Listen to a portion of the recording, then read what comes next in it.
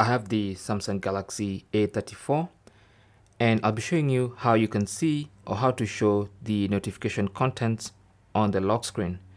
Now the way it's set up right now is you can actually see the notification icons. You can see them there. You, can see the notifications themselves, but you cannot see the contents of those notifications. Okay.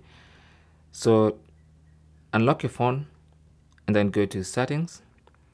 On the main settings page, go to notifications, tap on that, and then go to lock screen notifications, tap on that, and then choose to show content.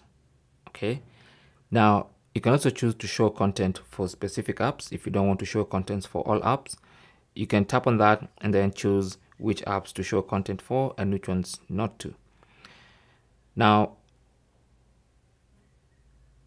let me go and make sure an app like Gmail, because that's the notification we have, is enabled. So once you have show content on the lock screen,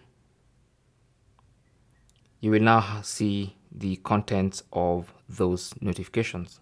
As you can see, you can actually see uh, the send of the email and even a, snip, uh, a snippet of the email contents. And that, that is basically how you can see notification contents on the lock screen of your Samsung Galaxy A34. Thanks for watching. Leave your comments and questions down below and good luck.